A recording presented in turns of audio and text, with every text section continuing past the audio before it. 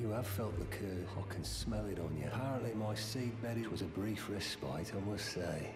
Go and unshackle my traps trapped in the sewer gaol below the capital.